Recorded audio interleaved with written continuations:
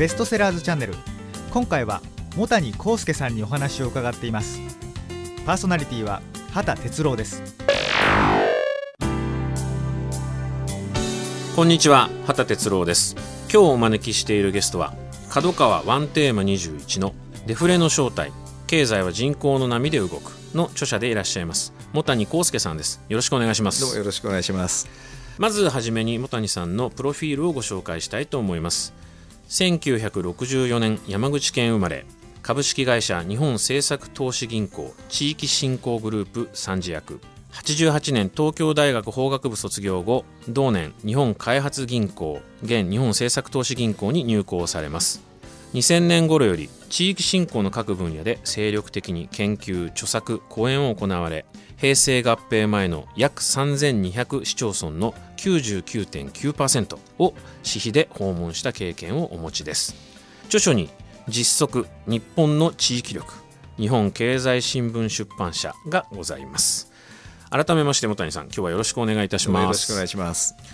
えー、まずはお聞きしたいことがですね、えー、普段のお仕事の内容といいますか、えー、地域振興ということなんですけれども、はい、具体的にはどのような毎日を送っていらっしゃるんでしょうか？えーとですね、地域振興といってもですね本当にやってる人ってのは地元にどっか根ざしてねいろんな事業をやって、まあ、それこそ起業してる人とか、はい、まあ、主体なんですが私はその横に行ってですねもう絶叫してるだけの 一種の評論家家業なんですね、ただ評論家っていうのはそれだけじゃ存在価値がないんですが、はい、私のお客さんっていうのは地域振興してる人です。してる人が、え自分たちが何かをしようとしてる時にまあ必ず邪魔が入るんですよ、はい、でその一つにはよく分かってない人が来て横で関係ないこと言う。特に最大の邪魔っていうのがそんなことを努力しなくたって景気が良くなればいいんだからそれまで何もするなみたいなことを、まあ、言う人がいるわけですね。それがまあ邪魔なのでそれは違いますぜということを横に言ってこの頑張ってる人たちは立派だと。これやんないとこの地域はいかんと、はい、この人たちのやってることは間違ってないということを言って歩くのが仕事、えー、あるいはそのやってる人って突っ走ってますから、時々何やってるか分かんなくなるんですね、でこっちの方向でいいのかってこう悩むじゃないですか、で横に行って、まあ、ちょっとずれてればずれてると、だけど、まあ、多くの場合は別にずれてないんで、はるか彼方に向かって走ってるので、まあ、この方向で間違ってないと、まあ、何万万円かかるか分かんないけど、成果出るでしょうと。はい。えー、大体ですねあのちょっとうまくいってる時は呼ばれないんですが力尽きてあの落ち込んできた頃に呼ばれるんですね、はい、そういう役回りです、まあ、全国もう累計で10年間で4000箇所ぐらい登壇して歩いてると思います、年間、まあ、あの400件ペース、それ以来の面談とか会食合わせと年間800、900というですね、800、900ですか、えーまあ、県ベースでいうと、まあ、そうですね。あのちょうどこう1か月ちょっとでですね、はい、地球4分の3周ぐらい動いていて、都道府県でいうとですね47のうち、この1か月間に通ったのが30、えー、7かな。はあ、まあそんなものになります。あ。のどど本当何年やってるのかって思われるんですけど、はい、非常に特殊な、えー、でも全国に何人か同じことやってる人はいますよ、はい、何人かしかいないですね。はい、日本中をもう飛び回って、えー、そうそうです、あの昨日もあの朝宮城県にいたんですが、はい。えー、そこから山形行って、まあ、仕事をして、仙台から大阪に飛んでテレビ出てで夜帰ってきました。あお忙しくていらっしゃいますね。えー、あのー、もう徹底的に現場を回られてる茂谷さんという。およそこのプロフィールと、はい、あるいはこのデフレの正体という本と全く違います。はい、私の講演聞いた人って多分全国にまあ4000回もやってれば 10,、まあ、10万人とか以上いると思うんですが、はい、彼らが知ってる私と、うん、そのこの本だけ見た人とは全く受けてる印象が違うでしょうね。なるほど。ということはあの現場を回られている傍らですね例えばこの本をお書きになろうと思った何かきっかけみたいなものっていうのは終わりになったんですか？あのもともとですね、はい、あちこち行きながら皆さんが思い込んでるその例えば景気が良し悪し悪いから地域が衰退しているといった話は全く関係がありません、うん、まあ、逆に言うと景気が良くなってもお宅の地域は良くなりません、はい、えー、現に小泉改革の頃の戦後最長の好景気と、はい、事実数字を景気良かったんですが、はい、誰も好景気と思ってないところがほとんどでしたね、はい、それはだから景気の回復を待っててもしょうがないですよということを、まあ、毎回同じことを話してから講演をするわけですが、はい、そのうちその毎回どこ行っても話すその総論だけまとめといた方がいいなとは思い始めたんですよ。ただあのなかなか本を書く時間がありませんので、はい、あのまあ、直接的には角川書店の編集者の岸山君という若い編集者に、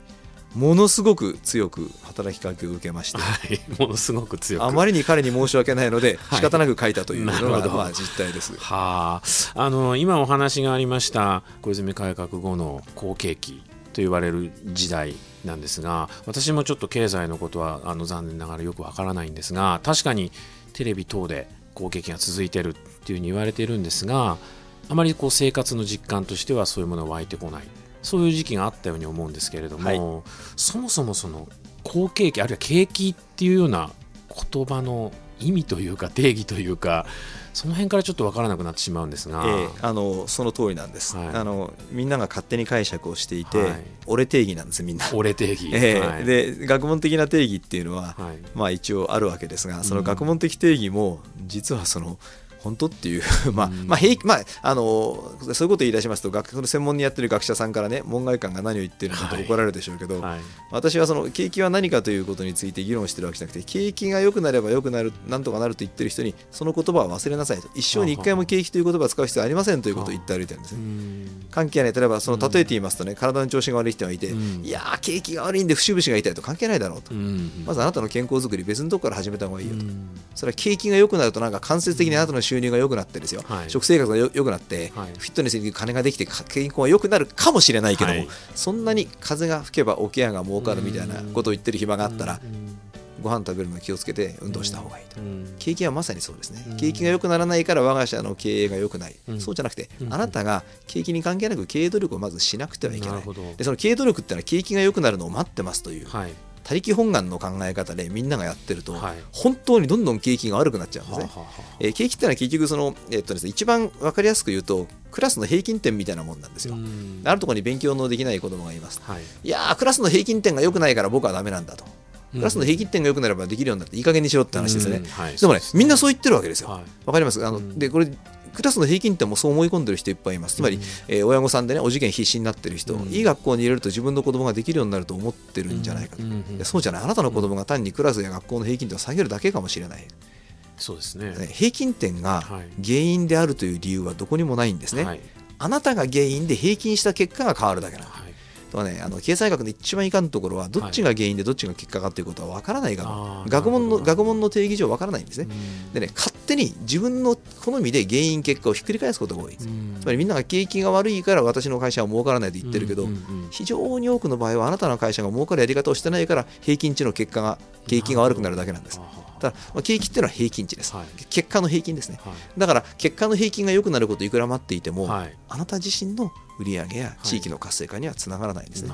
まあ、あのそのあたりはデフレの正体は景気の定義を論ずるものではないから書いてないかもしれない。読んでいただくとあの景気という言葉を使わなくとも自分の商売を良くし地域を良くする方法があるんだなということは読んでいただくと分かると思います。あの景気っていうのがねその平均点であるっていう話。あのその点に関してはすごくよく分かりました。はいそれからですね本書のタイトルにもなっておりますが、えー、えー、デフレ。これがまた分かるような分からないような。全く分からない言葉ですよ。全く分からない、ね、これはね失敗したんです。これデフレの正体という題名つけるときにですね、はい、まあこれ吸ったもんだもめてつけたんですが、はい鍵括弧をつけとくべきだったんです、ね、今だから講演するときにはね鍵括弧でフレ鍵括弧閉じるの正体となんとかなんとかって言って講演をして歩いてます、はい、あのデフレには鍵括弧をつけるべきです、あの学問的な定義っていうのはですね、はい、まあ、あるんですが、まあ、それ物価がまあ下がるということですね、はい、ただねこれ言うなれば熱が出てますとか、あるいは体温が低いはい、まあ、体温が低いっていう話ですね、低体温症みたいなものです、でね現象目についた言葉です、だから体温が低いってそれは分かった。事実物価下がってるんです。だからデフレはそういう意味では確実には存在するんだけど、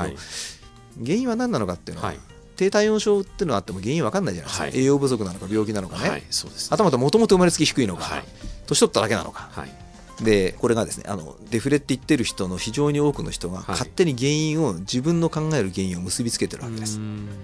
あの本来は現象を表している言葉なのに、はい、理由がくっついた言葉になっている。例えばその非常に多くの場合は貨幣供給、まあ、あの世の中でですね、まあ、早橋日銀が札をもっとすればデフレは治るという文脈で語られていることがすごく多いんですが、あの今の低体温症と同じで原因も10個も20個もありましてね、うん、どれか特定の原因だけになっているとは限らないんです、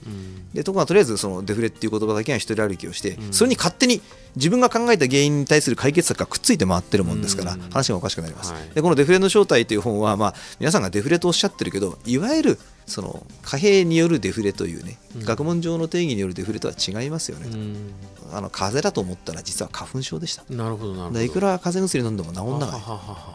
でも十何年金融緩和してきても治んない。なぜでしょうと、うん、それは実はデフレではなくてと、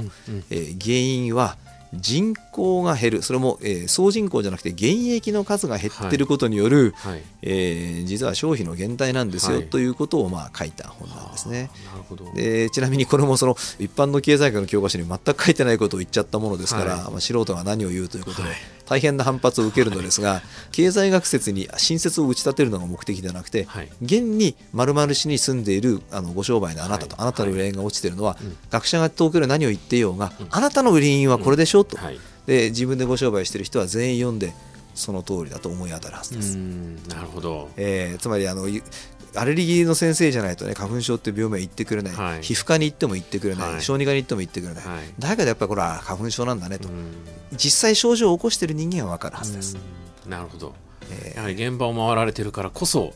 気づかれることっていうことになってまあそうですね。かつですねあの一番ベーシックな数字を使ってそのことを説明している、はい、つまり経済の難しい指標ではなくて、はい、人口だとかですね税務署が持っている個人の所得だとかですね、はい、お店の全部に聞いたお店の売上の統計とかですね基本的にはそのいわゆるマクロ推計というものがあるんですが、少少ない数字から結果を推計して GDP とか出すんですが、そういうのを一切使わない。えー、全員に聞いた統計だけを使い、さらに率を使わずに絶対数だけを使うと、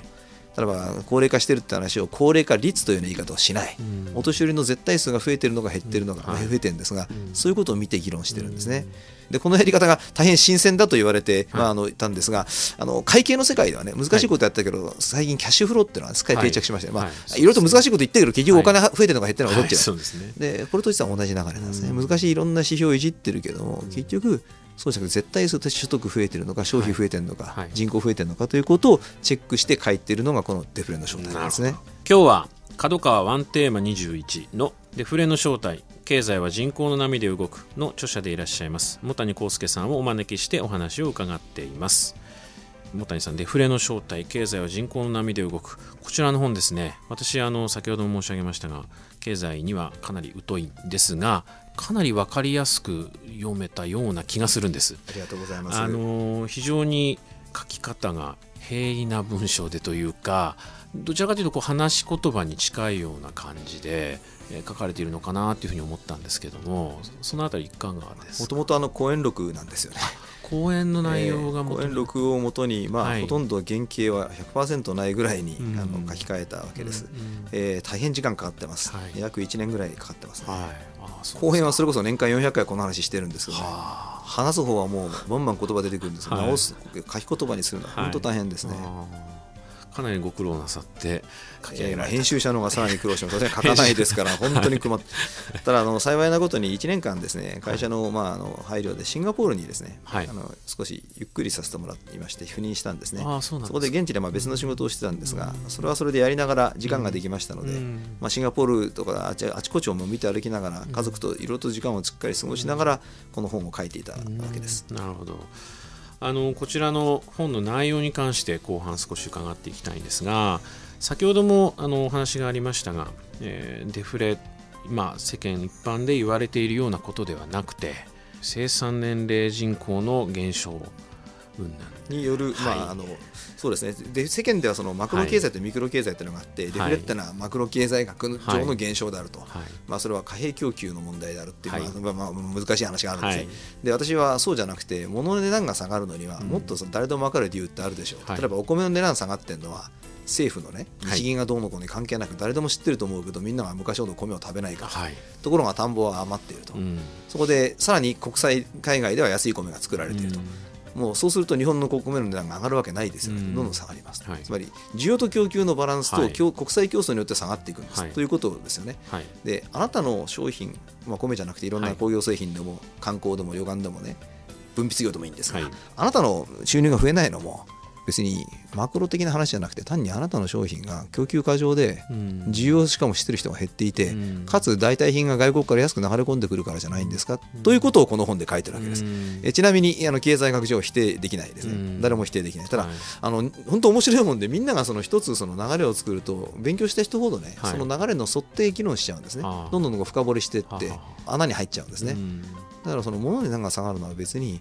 あの単なる需要と供給のバランスが崩れたから下がる方が多いでしょ、うん、ということを言ってるんですよね。えー、でじゃあなんで需要と供給のバランスが崩れるのか、はい。はい、それは実は背景に人口が減っていると、えー、正確に言いますと高齢者は非常に増えているんですが、はい、えー、現役世代、まあ、この本では経済学の定義に従って、はい15歳から64歳、はい、いわゆる生産年齢人口、まあ、この言葉もうちょっと流行ってほしいんですね、はい、まあ、これを現役ということに一応、皆さんの定義に従ってるんですが、これがねどんどん減ってるわけです。大体日本国では、えー、あと100年で高校生以上退職前の人いなくなる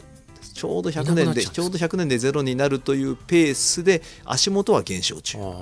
どこかで止まるでしょうが、はい、50年後に止まるとすると今より半減、うん、20年後に止まる、まあ、ありえない。もっと続きますが20年で止まるとして2割減ですね、うん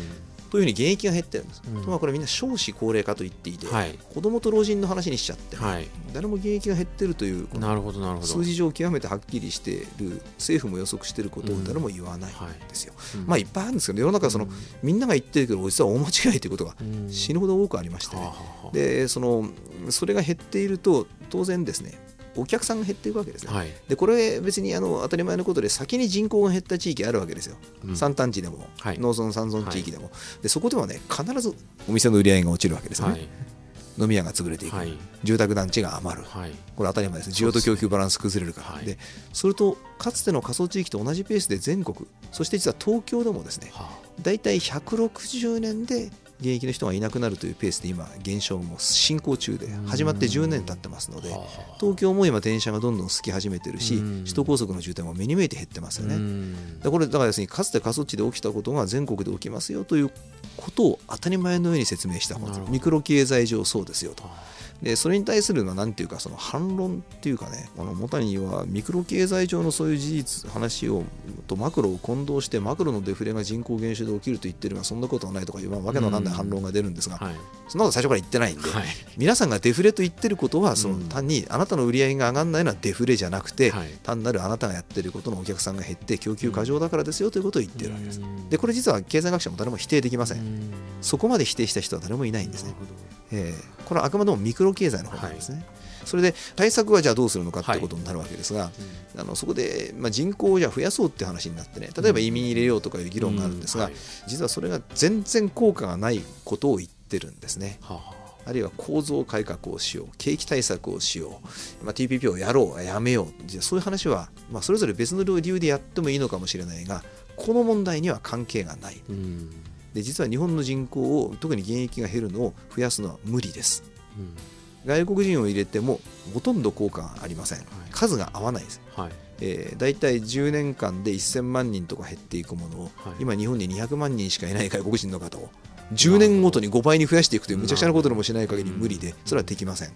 それどころか日本だけではない。中国を筆頭に東アジア全部で、まあ、日本と2 3 0年の時間差で同じことが起きてるんですね。あそうなんですか、えー、そうです。でむしろ世界の食料不足やエネルギー問題の方が解決に向かっていきます、逆にいろんな商売がお客さんがいなくなって困っていくという現象が後半に起きる、で対策はじゃあどうしたらいいのか、これはあの誰も思っていないんですがもうこれは当たり前のことなんですが、はい、人口が減った時に経済規模を維持したければやれることは、1人当たり消費できる額を増やすしかない、はい、そのためにはどうしたらいいか、賃上げをしなければしょうがない、はいね、若い人の賃金を上げましょうと、はい、まあ、それをそのあたりがこの本の、まあ、最後の方の結論の一つになるわけです、はい、あるいは外国人の労働者じゃなくて観光客を呼んできて消費してもらおうと、うん、それから特に若い人の中でも日本で今一番お金があれば物を買うのには買わないお金がないので買わない一番大きな集団は何か、うん、女性な女性、はい、そうです、うん、だからなでしこにもっと高い給料を上げれば絶対もっとおしゃれをします、まあ、ネイルアートだけじゃなくてですね。そ、ね、えー、そしてその世の中には今女性ですね。日本半分も働いてないんですね、うん、本当働きたい人がどんどん増えてるんですが、うん、いろんな子育ての支援もないし、はい、働かずに家の中にいて、はい、そしてその分消費をずっと我慢している。そしてどんどん物が売れずに、はい。旦那はその結果売れないものを一生懸命作って売り上げが上がらずに安い賃金で長時間残業。でこの全く悪のスパイラルに陥ってる、ね、みんなで実は1年に1%ずつでいいので、一気とは無理ですね、はい、あのちょっとずつだけ賃上げをする努力をしていくというだけで、実は日本経済っていうのは全く回るんですね。でそれに対してまあやはり国際競争力が落ちるのはどうのこうのいろんなこと言うんですが、ことごとくムードで言っていて数字をチェックしないで言ってるんですね。実はそうじゃなくて落ちませんよということをまあ言ってるわけです。まあ、細かい話はぜひ読んでいただきたいんですが、はい、ただ当時これ書いてある時ですね。ちょうどリーマンショックでしてね、はい、でまあ日本の輸出がまあ短期瞬間的に6割も減るというね、はあ、えー、一瞬日本が貿易赤字に陥るというちょうどその時期でした、はい、で私はこの本の中で日本はもうずっと貿易黒字状況が構造的に続くし輸出は増えるし、はい、国際競争力が失われるとそんなことは全然心配する必要はないと、当時まあ断言して書いたわけです、で当時多くの経済、まあ、学者本当学者なのかよく分かりませんが、エコノミストの人類が多くの人が私と逆のことを言ってました、日本はもうおしまいだと、その後まさかリーマンショックの後にですね日本の輸出がまたもう一回リバウンドで今すごく増えてるんですがね。だからすごいあの円高になるわけですからね、はい、その誰もそういうこと言わない。今度は今度は震災来ましたね、はい、震災来たんで今度はこれ今度こそ日本はもうだめになったと、輸出競争力が落ちると、はい。私はそうじゃなくて外国には売れるけど国内で売れないのが問題だとずっと言ってるんだが、非常に多くの人がまた外国に売れなくなると大騒ぎをしている、まあ、今も政府で言ってる人もいますがね、統計見てないですね日本のその2月あの輸出ですね。3月にガタッと落ちていくわけですけど、はい、6月からもう2月以前の水準に戻ってるわけです。わかります？あの財務省のホームページに最新の統計載ってるんですがね、はい、もう戻ってるんです6月から。はい、とっくの通りにだからだから円高またあっという間に戻ってしまうわけですね。というようなことすら全然チェックせずに、自分が大学で二十何年前に教科書で習った通りのことをチェックもせずに喋ってるわけです、うん、これ私この本の中で SY と言ってるんですね、はい、数字読まない。そして KY と、はい、空気しか読まない、はい、GM 現場見てない、はい、製造業の人に知り合いがたくさんいれば、はい、現実に彼らのビジネスが最新どうなってるかって情報入ってくるんですね、それと数字をチェックすると必ず一致してる、現場と数字は絶対一致してる。一致しないのは、まあ、主にマスコミ経由でみんなが信じ込んでる謎の空気ですね、うん、10年前日本と中国は日本が赤字でした、はい、今10年後の去年ね。この本書いた後ですけど、はい、この本では中国が栄えるほど日本は儲かると断言している、はい、事実去年去年ですよ。この本書いた後日本が中国から稼いだ黒字年間4兆円史上最高ですね、うん、10年前日本の赤字でした、うん、10年後にはもう信じられない勢いで黒字が増大中、はい、韓国と日本10年前日本1兆円の日本の黒字でした、はい。去年は3兆円。韓国からの黒字3倍に増えてる、うん、これ全然知らずに韓国に散々やられたと勘違いをしてデモをして歩いてる人もいる、うん、この壮大なる KY の山ですね、はい、空気読んで数字読まずに、はい、現場を見ずに騒いで歩く、うん、その結果彼らが本当にやらなきゃいけない国内の需要不足、外国との競争じゃなくて、はい日本人の消費が減っていて、はい、日本国内で物が売れないということ、はい、本もそうですがね、うん、このことの問題を全然手つかずのまま放置しているわけです。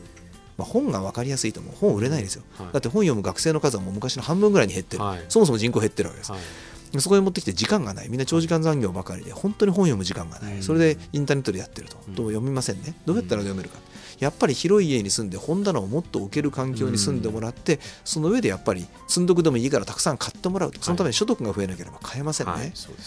まさにみんなの所得が増えていいところに住めるように人口減るんで家が広くなっていく、はい、そうすると実は本の冊数は減らないかもしれない。これ別に日銀や世間の景気と関係ないですよね。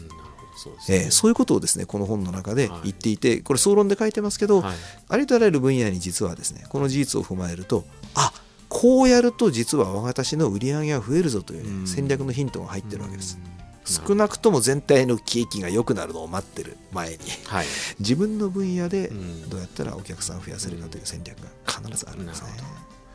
あの今、本は売れないという話がありましたがこちらのデフレの正体今、累計で50万部ですか、えー、ありがたいことに、はい、あのそこまであの急に売れ始めましてですね、はい、あの予想外でした、はい、ただそのその後やはり震災以降ちょっと止まってると思うんですけども、ただですねあの特殊ですが私その後本書いておりません、普通それだけ売れると、あの矢継ぎ早にもう4冊ぐらい中身の薄めたやつを出すのが普通ですが私はもう講演が非常に忙しくてですね、震災後特に講演がもう激増したもんですから、まあ、震災の前の現場を知ってますんでね、ただそのやはりこれは本当に吟味して書きましたので、はい、あの古くなっていませんのでね、はい、今からでも遅くない。ぜひ読んでいただきたいし、はい。ね、昔読んでよくわからなかったことをですね、うん、今のその情勢を読ん見て読んでいただくと分かると思います、うん、あの本にもですねい。ろんなことを予言して外れることが多いと思うんですが、ありがたいこと今のところこの本に書いたことは昔書いたけども全部当たっています、うん、やはりねそのあたりは比較していただきたい、い、ろんなことを自流に乗って言ってたけど言うことがどんどん外れてる人と、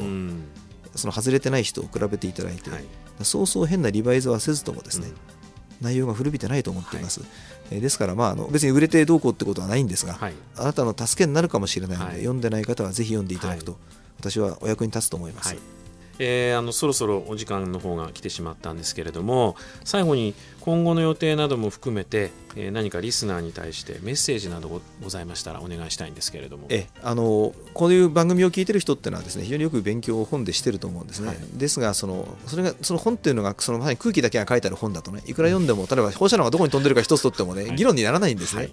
でやはりそれはあの数字をチェックしなきゃいけないし、はい、それからその何よりも現場へ行っていろんな本当に一時情報を持ってる人とネットワークを持ってなきゃいけない、それは実は本だけではだめなんですね、はい、それがさっきの考え込んじゃってでありましてね、はいであのやっぱりあの本を読んだ知識を、ね、現場で生かすということをぜひ実践していただきたいし、はい、その世の中実は本に書くべきなのに書かれてない重要なことがいっぱいあるんです、うん、おそらくこのデフレの正体を読んで納得した人はなんで誰も今までこのことを本に書かなかったのかということを思うはずです、はい、これだけ当たり前のことをどうして誰も書かない。いや本に書かれてることはねやっぱその業界の中のみんなが一致してることばっかりなんです、はい、書かれてないことはまだね方がはるかに多いと思ってください、はい、でぜひあなた人が本に書いてないけど重要なことを発見してあなたがお書きになってはいかがでしょうか、うなるほど。